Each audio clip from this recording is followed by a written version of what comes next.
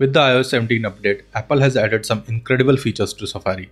One of those features is the advanced tracking and fingerprint protection. Now I know this might not have gotten much attention, but trust me, it's a game changer for our online privacy. Just like how we all have unique fingerprints, companies track our browsing habits and create a digital fingerprint by combining this data with other information like our hardware, software, extension and preferences.